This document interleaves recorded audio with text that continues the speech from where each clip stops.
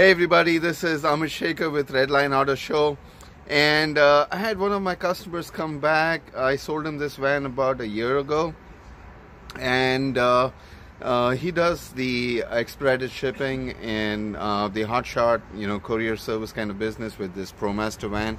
It is a, a 2500 159 wheelbase and I want to make a quick video to show you what it looks like 100,000 miles later.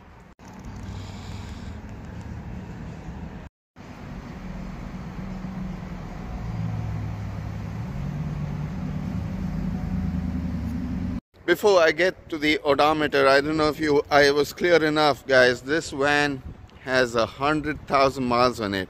He's done an amazing job of keeping up.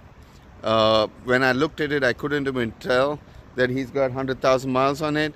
And uh, like I said, he does the uh, the expedited shipping, uh, hotshot, and he's uh, he's done some very simple customization just to make it comfortable for himself. He has insulated uh, the wall panels, as you can see over here, and he's got his little bed that he can sleep on, uh, stuff to organize very simple guys.